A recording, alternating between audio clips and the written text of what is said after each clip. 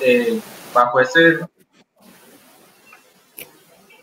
no tenemos ningún cliente bajo esa condición, pero lo agregamos de una vez por si acaso en un futuro fuéramos a tener. Entonces, para la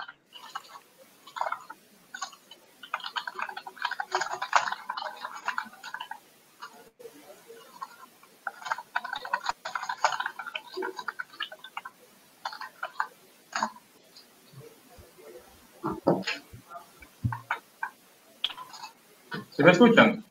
Sí, lo escuchamos, Luis. Ok. Perfectamente, Luis. Eh, esa partida arancelaria se, se utiliza. Sí, Diego, Luis, voy a grabar la reunión por aquello que se corte la conexión o creo que Pablo tiene un problema con la conexión o, o, necesitamos revisar algún detalle. voy a grabarla yo también por acá entonces. Buenísimo, gracias Luis.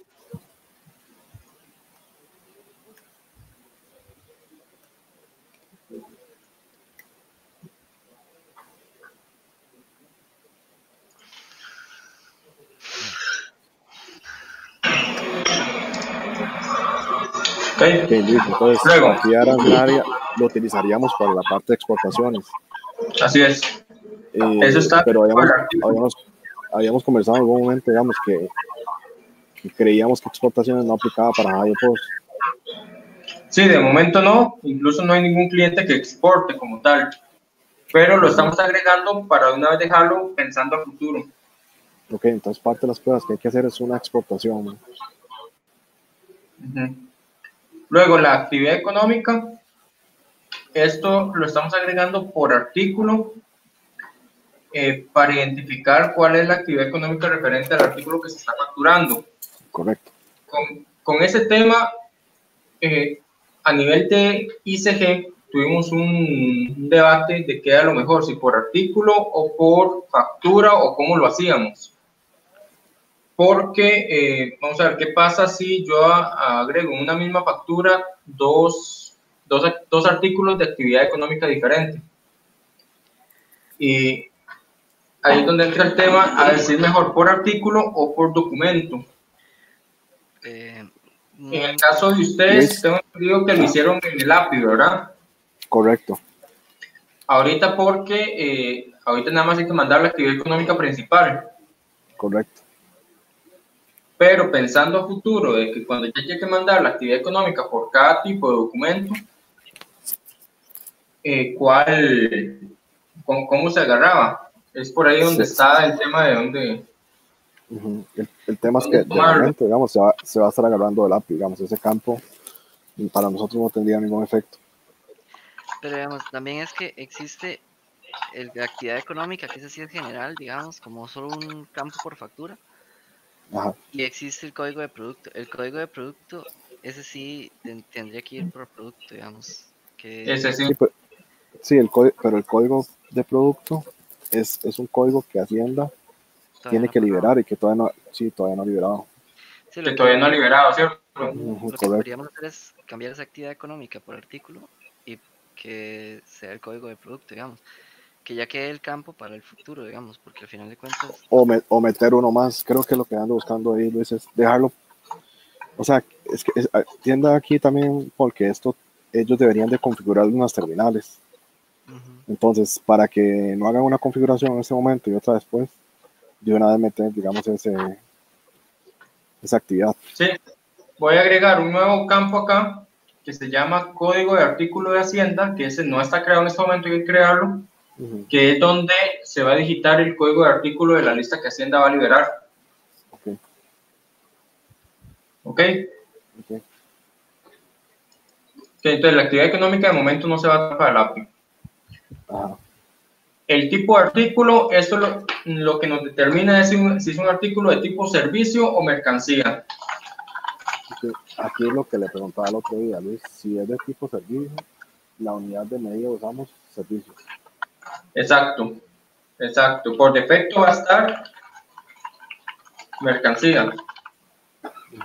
Y si, y si, si es de tipo servicio, entonces la unidad de medida será servicio. aquí es importante recordar a Luis que eso es un texto, digamos, y entonces los valores que ponga, o sea, tienen que ser escritos así, servicio, ya no, no podrían con espacio o, o, mal Totalmente de acuerdo. Así es. Si es tipo de mercancía.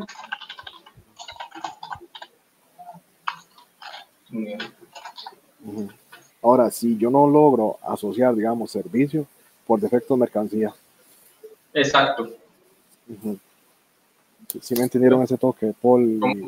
¿Cómo? Sí, hecho la lógica, ya está. que ese tipo de servicio. ¿Cómo es? No, no, no, ahorita mercancía. Una bandera de servicio. Como opcional, no es un Pero mercancía, servicio y mercancía. Eh, Diego. Sí, Pablo. Diego, sí, nada más recordar que, en, las terminales me parece que no tenemos, por lo menos en la terminal de ejemplo, no tenemos un, servicio como un catering service. Sí, correcto. Nada más como para efectos de prueba meterlo. ok, vamos a crearlo. Lo otro vamos a crearlo. De igual manera pueden usar cualquier otro artículo y nada más le cambian, le ponen ese check y listo es que acuérdense que nosotros no tenemos acceso a los artículos y eso. Ah, Nosotros solo, tenemos la parte, digamos, de, de, venta. Entonces, todo, todos los valores, digamos, de configuración deberían de probarnos nosotros. Ok, entonces voy a poner por acá.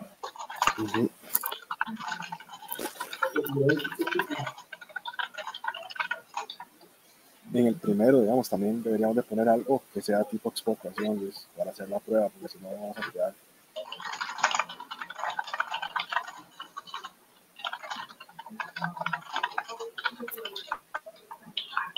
exportación de empanadas. Okay. Luego, el código de artículo de Hacienda, este hay que crearlo. Y es, se va a crear de tipo stream porque no sabemos cómo va a sacar Hacienda, si va a ser numérico, si va a ser... Hacienda Sí, exacto. Entonces, mejor lo dejamos de tipo string y, eso va a ser el campo y sería bueno que ustedes de una vez lo tomen en cuenta para, para lo que viene en el 2020, ¿verdad? Correcto. Y vamos a crear artículos con ese código, con estos códigos ahí de prueba, nada más para que ustedes lo tomen y varíen. Por, lo menos un par, sí. No. Ah, bueno, eh, ¿qué es lo que dice la estructura? ¿De qué, ¿De condición es este campo? ¿Es string, es numérico o...? Es string y... ¿De cuánto? Dame un toquecito. Dame un toquecito, yo se lo busco. ¿no?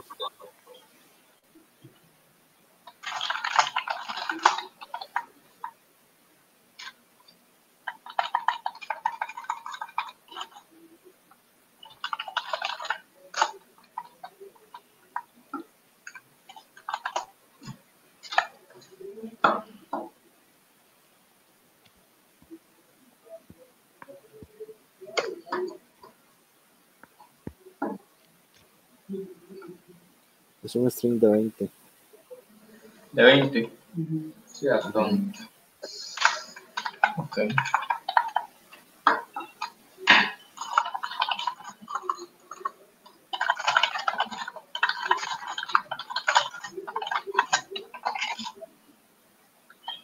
Mais uma okay. vez.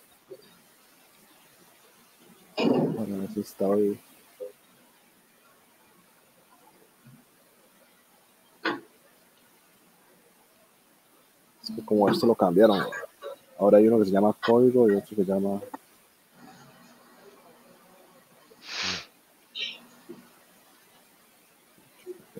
Es que el código comercial es como el código que veía antes. Ajá, y ahora el código es el código, es este nuevo. Entonces un string de 20. Ok. Sí. Eh, luego, el factor de impuesto ese, ese Paul tenía dudas, ¿verdad, Paul? ¿Qué era la duda? No me acuerdo, este, se este se debería de usar para cuando es el régimen de bienes usados. Sin embargo, habíamos dicho que Jairo no iba a trabajar con, esos, con ese régimen, ¿cierto? Correcto. Correcto, pero creo que Paul me hizo una pregunta el otro día en cuanto a ese factor y él cree que siempre tiene que ir. Entonces creo que vamos a ponerle siempre el 13, una cosa así, Paul. es que no, porque... Lo que habíamos dicho es que, digamos, el factor impuesto es el factor IVA y ese solo es para bienes usados. Lo que habíamos dicho es que la pregunta que yo le he hecho es, entonces vamos a utilizar bienes usados. Pero entonces fue que me dijeron que, bueno, ya él lo respondió, que Javier pues no va a manejar. Aunque sí podría, ¿verdad? Sí, si meten porque, esto. Porque nada más, exacto, si meten este tema es que es un régimen de bienes usados. Igual, al, al día de hoy no tenemos un solo cliente de Hypos en régimen de bienes usados, ni de ICG tampoco. El tema es que o sea, si, si hay que contemplarlo, debería ser ya para el tema de los cálculos o lo dejamos para después, digamos, eso, eso es un tema de tiempo también. O sea que, Eh, que Si se contempla, salimos a tiempo, es la pregunta. ya, ya a tiempo estamos en problemas, ¿verdad? Lo que yo creo que no va a salir a tiempo sería la parte de exportación, porque eso sí. Sí, eso sí no, se tomó en cuenta. Ujú. Sí, exportación sí no se tomó en cuenta. Pero el régimen de bienes usados tampoco. Entonces, si se mete, no vamos a salir a tiempo. Eso sí. Me parece, o sea, creo que el régimen de bienes usados, Régimen de bienes usados es más fácil de calcular que las exportaciones. Sí, las exportaciones, ¿no? O sea, creo que metemos eso y no habría ningún problema. Exportaciones sí, sí habría un problema. Ok, eh, entonces, se puede agregar de una vez, mejor. Ok. Entonces ocuparíamos, digamos, ¿Tiene algún costo adicional? No, no, digamos, lo que ocuparíamos ahí es, es identificar la prueba, ma. Sí.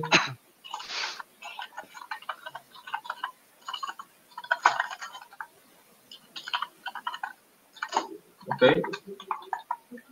Devuelve IVA, esto es para, eh, o era para el régimen de salud, que Correcto, hacía devoluciones de IVA. correcto. Eh, sin embargo, eso tiene un problema con Hayo, pues, especialmente, y es que eh, supuestamente en el tiquete tiene que venir el monto de impuestos, el monto de devolución y el total ya final. Correcto. Por lo cual dijimos en ese momento que eso no, Hayo pues no, No. tiene, o sea, no, no podemos modificar el diseño del tiquete. correcto. Entonces, no podemos agregar ese campo en el diseño del tiquete. Entonces, básicamente, eh, no, Hayo pues no tiene servicios de salud, por así Correcto. decirlo. Se no aplica. No aplica para no aplica para Jaime. Igual Y ese el- otro tampoco. Ajá. Ok.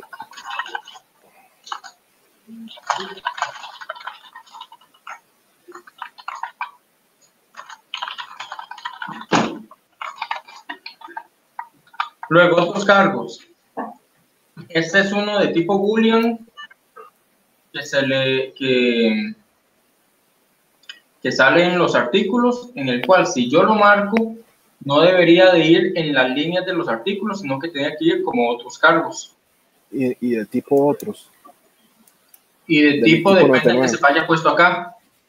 Ok, entiendo. Ah, eso el cálculo de otros cargos que no va a ser solamente el código, el impuesto del servicio. Y por Correcto. ejemplo, ¿cómo calcularía yo los otras? Por ejemplo, el impuesto de servicio el 10%, bueno, es el 10%. Pero, por ejemplo, cuando me viene el campo de otros cargos, ¿cómo calculo yo la cantidad de... Es que otros cargos son montos. ¿con? Sería, vendría en el monto de un artículo, digamos, por ejemplo. Vendrían Sería el como monto. una línea más dentro de HioPost. Exacto. Correcto. Ok. Y, y hay que tomar en cuenta la lógica de otros cargos que ya te- o sea, que se está teniendo en cuenta que es el 10%, hay que agarrar y meterlo ahí con el 10%. Y el redondeo. La, de- la del redondeo que va a ir con un 99. Y si viene otro valor de otros cargos. Ok, y digamos, entonces, este, este campo de otros cargos vendría en el XML de Custom Products Fields o en el en cuál de Custom los Product Fields. Correcto. Product Fields, ok. Podemos hacer dos cosas. Podemos hacer dos, dos, dos campos compuestos, quizá otros cargos y tipos de otros cargos, en el cual yo marco este y debería tener uno de estos seleccionados, si no, que se vaya con otros cargos. Es una opción. O la otra opción es eliminar este de otros cargos, dejar solo tipos de otros cargos y ponerle uno por defecto que sea 00. Y si es 00, que eh, significa que no es otros cargos. Yo creo que sí está bien, Luis. Sí, sí, yo creo que sí está bien, Luis. Dejar los dos. Así como está, está bien. Sí, está, dejar los dos. Porque me, me- los dos. me temo, me temo después que, que por un tema de migración empiecen a ponerle 00 un montón de cosas Ok, y, y nos den problema después de soporte. digamos. ok, está bien. Entonces, eso por ahí. Entonces, estamos claros con otros cargos. Ajá. Ese es Luego, son- ese- Estos son de tipo artículo, todos estos. Este de subir Hacienda, esto es para las facturas de compra. pero eso no aplica Eh. en Hyperforce. Sí, pero todavía no. O sea, en este app, en este que va a salir, no. Sería para después, porque ahorita habíamos hablado de que lo hicieran portal Ujú. y eh, mientras España nos liberaba que, que se pudiera Sí, que eh, un desde app, el mismo través. Ujú. Correcto, ya, ya España lo liberó, o sea, ya lo tenemos, pero por temas de tiempo, eso no va a estar listo, entonces esto va a ser para después. Ujú. Básicamente es que le vamos a agregar un check a facturas de compra en el cual yo le pongo subir a Hacienda y si tiene marcado, entonces tiene que hacer la, todo el trámite del API. Hay adicionalmente un trabajo ahí, Luis, y es que, ¿Pero? digamos, eh, hay adicionalmente un trabajo de HirePost, y es que el API como tal, digamos, eh, el API de HirePost no tiene para las compras, digamos, una exposición de API. Ya lo tiene, o sea, ya lo agregaron. No, Ok. Entonces, bien, nos faltaría toda la parte de desarrollo de esa otra hora, pero digamos, eso no está de momento. Sí, exacto, eso es para después. Ok. Eh, entonces este, aquí es tercera etapa. Ok. Luego, en los clientes se agregaron varios campos. Por ejemplo, tipo de exoneración, que eso me indica si el cliente es exonerado o no. Entonces, si no tiene nada, es que no es exonerado. Si sí tiene alguno de estos, es que es exonerado y hay que mandarlo con todo lo que implica Hacienda para eso, ¿verdad? Correcto. Antes existía un campo en el XML de HirePost que se llamaba is tax exempted. Ese campo va a seguir peleando Sí. ya Sí, ese campo, es que recuerde que puede ser exento o exonerado, que son diferentes. ok. Si es exento, es que no lleva impuestos. Pero eh, yo le, ahora le estamos agregando es, si tiene marcado alguno de estos, el cliente es que es exonerado y no exento como tal. ok. Entonces, ustedes lo que tienen que validar, y así fue como lo hicimos en ICG, es, viene, este artículo viene sin impuestos, ¿ok? O viene con cero, perfecto. ¿El cliente tiene exoneración o no? ¿Tiene tipo de exoneración o no? Si no tiene tipo de exoneración, es que tengo que mandarlo como exento. Si sí tiene tipo de exoneración, entonces tengo que mandarlo como exonerado. Ya tenemos eso ahí en las observaciones, Luis. Sí. Entonces, vamos a ver. eh, si un artículo va exento o con 0% de IVA,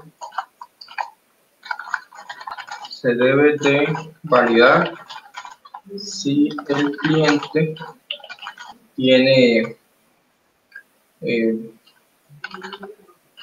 es que son varias cosas. Vamos a ver. Ustedes en el XML que saca HirePost le dice cuál es el porcentaje de impuesto por defecto de, del artículo. O solo le sale el porcentaje de impuesto de la venta. En, en el XML que viene de Post. Sí. Eh, por artículo vienen un arreglo de impuestos. Que puede ser más. Pero eso es lo que, como yo lo estoy facturando o como el artículo está configurado, porque el artículo puede tener 13, pero yo lo puedo facturar sin impuestos. Entonces, ¿cómo, cómo le llega eso a ustedes? Este, no, él viene con. Eh, bueno, había un campo que es, el que le dije antes, is tax exempted, que ese viene dentro del header fields de, de la, del, o sea, los campos de encabezado. Sí, pero eso está como asociado como al cliente, ¿no? Así. Ah, sí, eso estaba asociado al cliente en HiPost, sin embargo, digamos, en el XML venía dentro de los header fields. Y después por producto viene una, unas, un arreglo de impuestos que, si bien recuerdo, si la factura venía exenta o venía marcado esa casilla, no decía nada de taxes, o sea, no venía ningún tipo de taxes dentro del producto. Y, y, creo que tampoco vienen los porcentajes, ¿verdad? Son, son montos, me parece, ¿no? De hecho, sí viene el porcentaje. Eso es en realidad lo que venía. A veces el monto mm. no, no venía bien. Era al revés, sí, que el monto no venía bien. Ajá, el porcentaje es el que sí venía.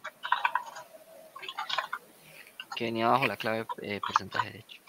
Pero bien, okay.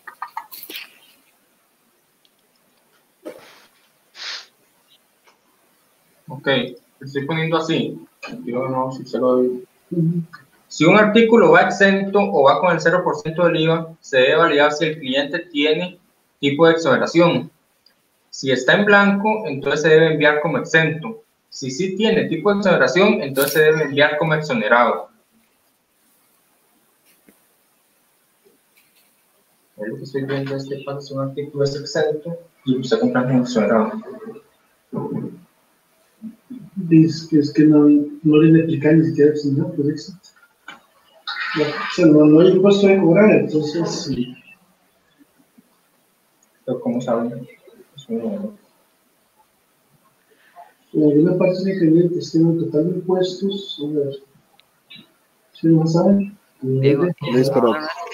¿De cliente? Tipo de producto, nada más. O sea, si ya, sí, ya, voy, ya voy un toque. No hay impuestos.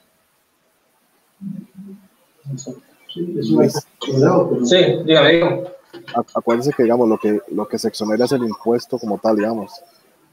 Correcto. Cliente tiene una exoneración, tiene exoneración del impuesto de venta. Así es. Y debería, debería haber un documento asociado a esto. Correcto, que es esto de acá, que es, lo, que es lo de abajo, donde dice el número de documento y la fecha de institución. Ok. Entonces, digamos, eso un cliente se pone. Y ¿Cómo sabríamos cuál es el, impuesto al cual se está exonerando? Ese es el tema, eso es precisamente lo que pregunté, si, si, si en los artículos le sale cuál es el impuesto original que se está, que tiene el artículo. No.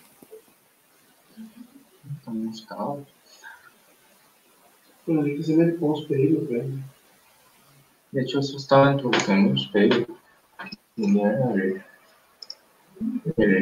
A, a, menos que esté llegando y no lo hemos visto, digamos, eso es otra. Pero hasta donde yo me acuerdo, eso no, no viene, digamos. Ok, vamos a solicitar a España que lo incorpore o que nos diga dónde es que está, si es que ya, si es que ya hoy va, si ya hoy viaja. Lo otro es, de, si vienen estos valores, de meterle, meterle el, meterle la el tema es, digamos, a nivel de cálculo. El tema es que, ¿qué pasa si es un artículo, por ejemplo, de la canasta básica? Ajá. O es un artículo que tiene 0% de impuesto. Entonces, ¿cuánto le va a usted exonerar?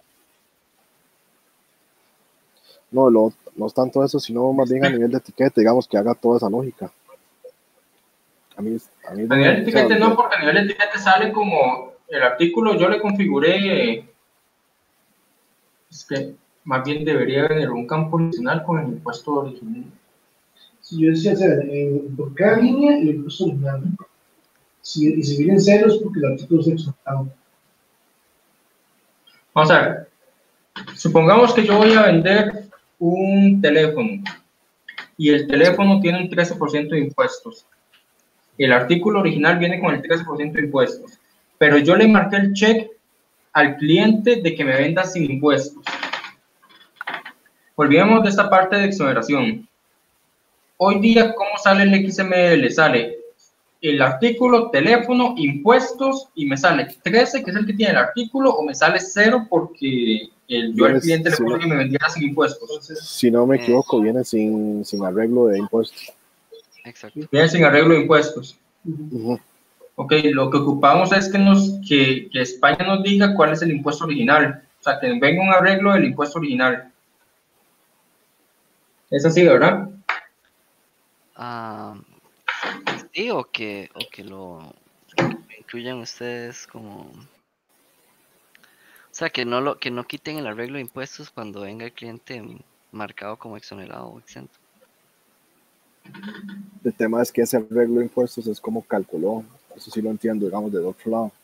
Es como, digamos, Hayopos calculó el, el, impuesto, digamos, lo que pone él en taxes abajo, el, impuesto, digamos, a nivel de etiquete. Entonces, digamos, sería si tengo exonerado y si no tengo los campos, el artículo por defecto viene sin impuestos. Sí, el tema es que dentro del XML que se envía Hacienda hay que decirle cuánto se está exonerando. Y no sabemos si el artículo tiene o no tiene impuestos. Porque el monto de exoneración no viene con un campo adicional. No. Había un. Porque hay, hay un campo, debería haber un campo que se llame porcentaje de exoneración de esa venta, porque cuando usted le da un documento, le dicen qué porcentaje le van a, le van a exonerar. Entonces puede ser que no sea toda la exoneración del. Pero es que igual ahí no, no puede hacer eso. Ahí pues es como si... Depende, si usted pone un artículo que le va a cobrar de, de no ser exonerado, y se que tiene que crear un impuesto de un, un impuesto? un 11 como el 28 y y tendrías que hacer un, un artículo por cada. Y... Sí, sí, Pero, digamos, así es como haría de trabajar. Porque digamos, digo una escuela, una escuela tiene tal vez un de eh, que el código aprende un 2%, o un 3, o un 4, depende del tipo de institución puede. No, si dicen si lo puede hacer, ya está contemplado, si lo hace. El tema es Hyperus.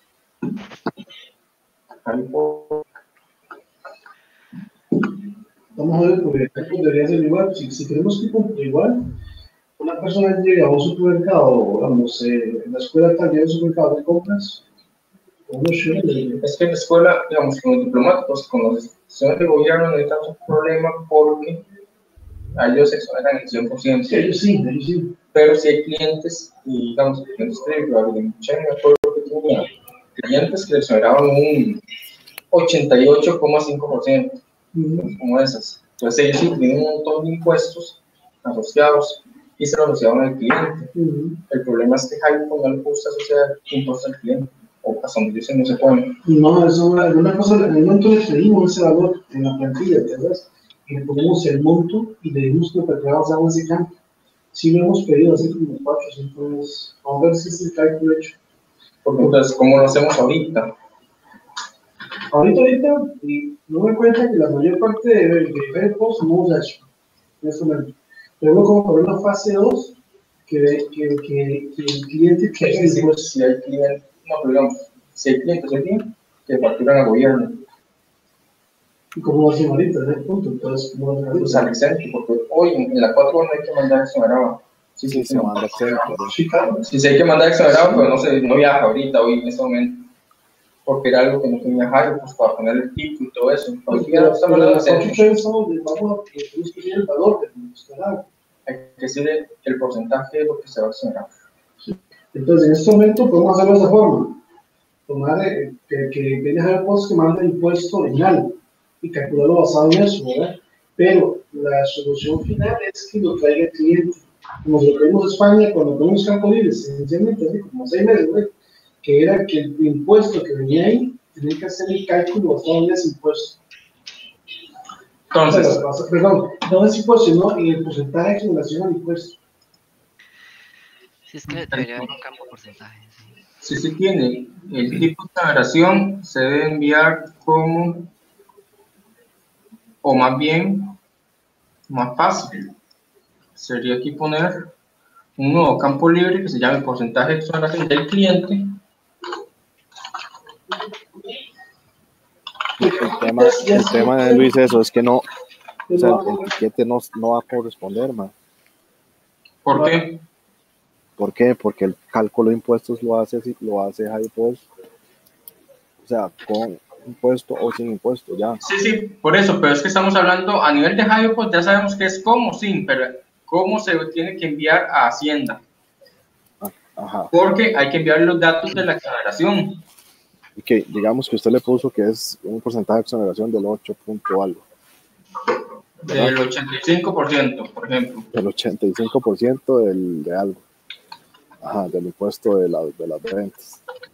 Ajá. En el en, en, en, en el tiquete impreso, se va a ver el impuesto calculado totalmente o al 0%. Ok, entonces más bien lo que deberíamos de hacer es enviarlo al si lleva exento y tiene ahí el tipo de exoneración que, se haga una exoneración del 100%. Exacto. Bueno, no, porque no hay forma, digamos, no hay forma de, de, de que el, el tiquete que había calculado a otro porcentaje. Sí, no, ahorita, eh, Diego, ¿cómo vas? ¿Cómo le Mauricio? Hola, Mauricio.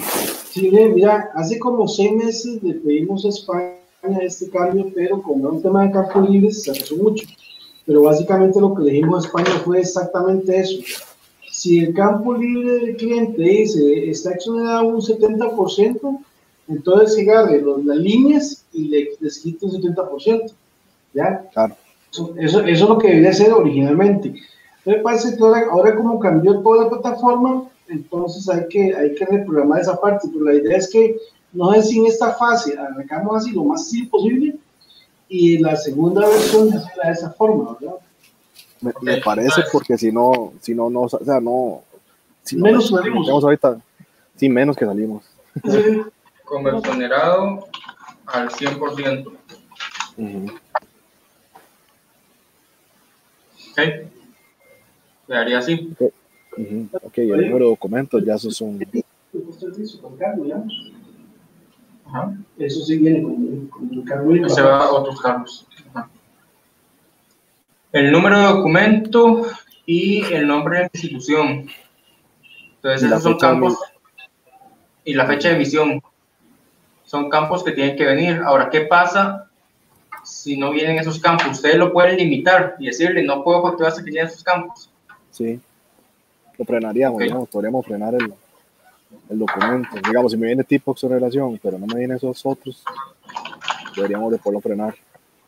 Y es una prueba, digamos, hacer. Ahora, ¿qué pasa si viene?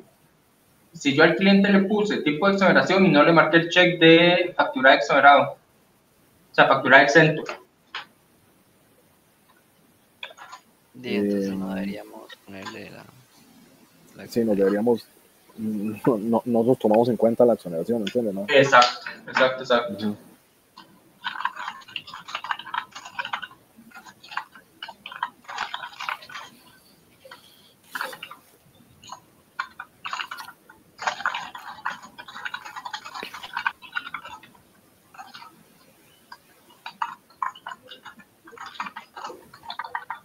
Okay. Y esos son los que, los que tenemos mapeados. No sé si ustedes han identificado más. Yo, la verdad, Luis, no, no, no me he puesto ni a analizarlos. Eh, podía evaluarlos con, con Josué o con otras personas, pero creo que son esos. Igualmente, sí, somos digamos, los que creamos un Sí, yo creo que son los mismos. Ahora, eh, lo importante es que estén en la terminal de pruebas así digamos, mapeados con esos nombres para que el cálculo que tiene que ser por, eh, por ejemplo, vaya, vea, fijo, tipo otros cargos, entonces esté, esté definido, digamos.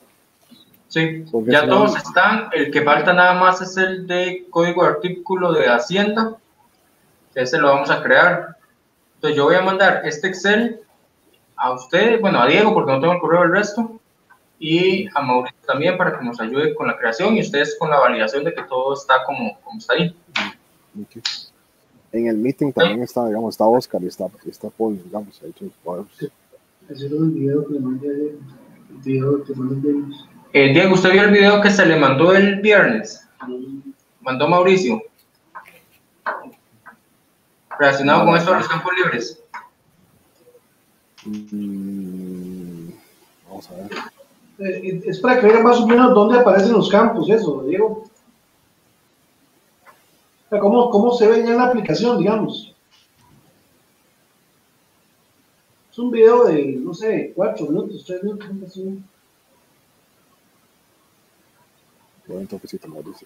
No lo he visto.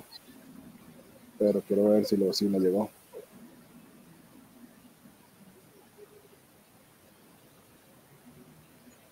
¿Quién me lo mandaste? Buenas tardes, Diego. Aquí han visto los campos ya habiendo usado Post.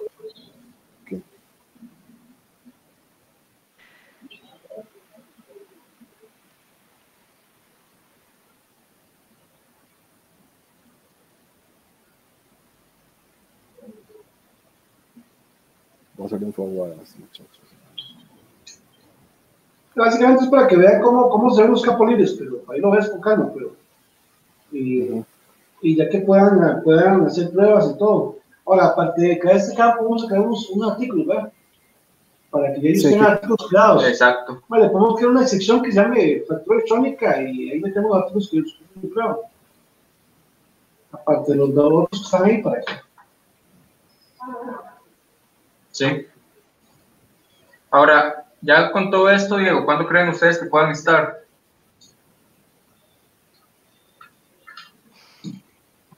Perdón, me decían, es que se me metió el video, el audio y video. No, preguntaba que ya con esto y los campos y demás, ¿cuándo creen ustedes que pueden estar? Yo con Oscar estoy haciendo seguimiento mañana en la tarde, Luis. Eh, como siempre, digamos, la meta es hacerlo lo antes posible.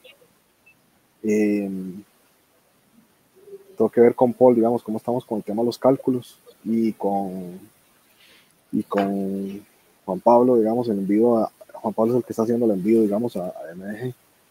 Entonces, ¿en qué punto nos encontramos de esos dos? Como para decirle, madre, en tal fecha empezamos pruebas. Eh, yo sé, digamos, que a nivel de cálculos Paul ya tiene mucho adelantado, pero sí nos faltaba mapear cosas, ¿no? De hecho, él lo tenía más que todo en pruebas, digamos, como casos de pruebas.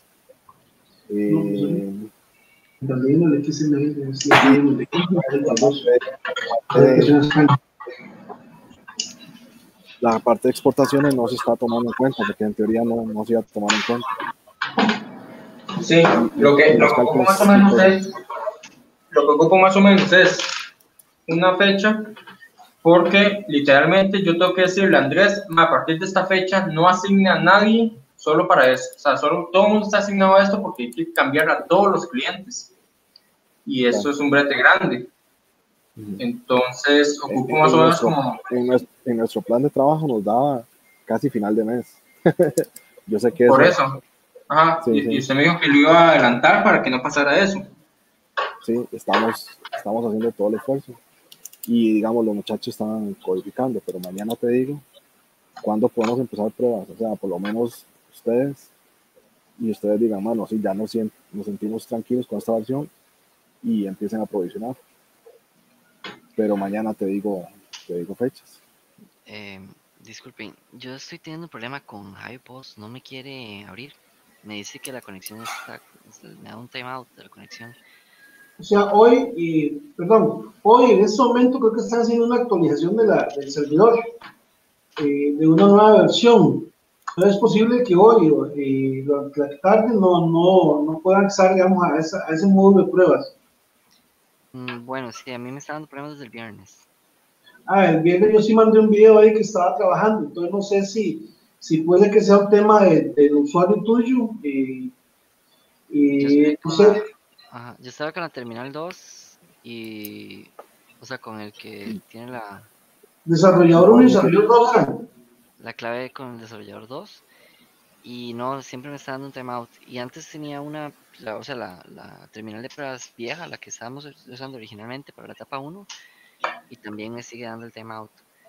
Ah, no, entonces nunca pude entrar, entonces. Sí pude entrar el día que tuvimos una reunión. Sí, el día, o sea, Paul sí, definitivamente Paul sí ha entrado. Y no sé, Juan Pablo, no, si tiene problema. Después de que haya tenido un problema de, contraseña, te la voy a validar y, te paso el dato ahí con Diego, entonces. No, pero es que la contraseña sí está bien. La contraseña sí, está bien. ya me sincroniza todo. Si yo, por ejemplo, un viernes. Paul, comparta pantalla, tal vez. Si yo el viernes entré, hice un video, le mandé el video a Diego y a Luis y, y ahí se ven los campos. Y hoy sí hay un tema de actualización. Paul, compartamos pantalla y ya. Eh, sí, creo que ya lo empecé, pero no, no sé. ¿Se está viendo? Sí. No, no se está viendo. Ah, bueno, sí, lo que estoy viendo es la de Luis. Seguro por eso no me deja, porque yo ya estoy tocando compartir pantallas, pero... Sale la ventana emergente, lo viste con Chrome. Ok, es que yo no uso Chrome. Ah, bueno, ya, ya me salió. Ahora sí se logra apreciar la pantalla. La pantalla sí. Ok, perfecto. Eh, entonces, ves, esto es lo que me sale. A ver, el proceso, ábrelo desde cero. Lo estamos usando, estamos usando el APK que, que el último, digamos. Sí, yo, yo, lo, yo lo instalé el día de esa reunión. El, 6, el 6 de junio, sí. yo lo instalé ahí con, desde el link que pasaron en la reunión. Y ese día me cargó y hasta hice pruebas y por eso tengo el XML como... Como actualizado, digamos, con ciertos este datos. XML que era... no, ese no es el XML, es este. Este XML que, que lo habíamos tenido, ya venía en campos custom. De hecho, aquí viene el, el, el custom que se había creado, que era el tipo VIP. El VIP, sí, correcto. Pero después de eso, ya no me quiere entrar. Pues no te entra porque Yo lo intenté el viernes y no me entra el viernes. Ni lo intenté hoy y no me intenté hoy. De hecho, borré los datos porque yo tenía la terminal, la terminal, como yo ya estaba trabajando en ese proyecto desde la etapa anterior, yo tenía la terminal de pruebas anterior, que tenía otra clave. Y me dio el mismo problema. Hoy borré los datos y lo volví a empezar, pero pero no. Sí, voy a, voy a verlo porque eh, hoy, hoy precisamente, bueno, vienen haciendo unas pruebas y hoy están cambiando la plataforma esa de pruebas para una nueva colección de servidores. Y ellos nos pasaron la comunicación hoy en la mañana. Entonces es probable que también esté, esté dando ese asunto. Ya para mañana, yo diría, voy a validarlo mañana a primera hora y te confirmo con, con Diego. Juan pregunta, eh, como, o sea, ¿te conecta vos, Juan, o no te conecta? A mí, eh, sí me conectó la semana pasada, ahorita estoy haciendo una prueba y de hecho estoy volviendo a entrar y efectivamente sí me está haciendo como una descarga nueva de, del servidor. Voy a probar ahorita, ¿qué tal? Eh, porque sí, sí me está haciendo una, una descarga en este momento. Se me empieza, empieza como a descargar algo. De hecho, como me conecté y, después sale este pop-up. La conexión falló de que... Sí, eh, a, mí también ya ahora sí estoy viendo eso, que es la, la descarga falló y la instalación y vuelvo a descargar. Ese es el error que me está sacando ahorita. O sea, es diferente a este. Sí, me, parece que es diferente porque pareciera ahí, eh, Mauricio, que sí, sí hay algo. No, no, eh, como, te digo, Diego, están haciendo una actualización en España en este momento, de servidores de esta plataforma de pruebas. Y por eso es que tengo que, que pues, es probable que sea esto y que se llame hasta mañana a primera hora que ya lo tendrían listo otra vez. Ok. Bueno, igual Paul y Juan tienen, o sea, tienen que trabajar, no, no, no hay forma que los que lo tenga. y ah, van a empezar a emular. Pero, tiene el XML para que trabaje con eso no? No, el tema es que no tenemos los datos. O sea, los datos mapeados no están, o por lo menos no están. La última vez que tratamos de jalar los datos. Entonces, Luis, si nos pasas eso, igual, Paul ha estado trabajando, digamos, con los datos emulados, como para tratar de,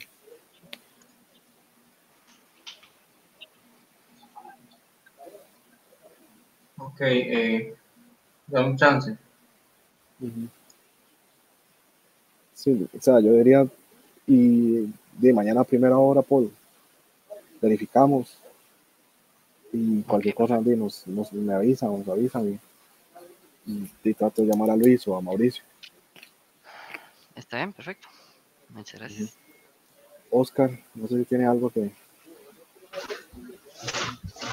No, de mi parte, estamos listos, Diego. Gracias. Sí. No. Gracias por tu apoyo y gestión. Sí, ahí básicamente habría que esperar a mañana que ya termine la actualización hoy en la tarde y, y, mañana ya debería estar funcionando correctamente. O puede ser que más tarde, no sé. Sí, o sea, puede, puede, ser que más tarde. El tema es que ahorita en este momento están en plena actualización. Ok.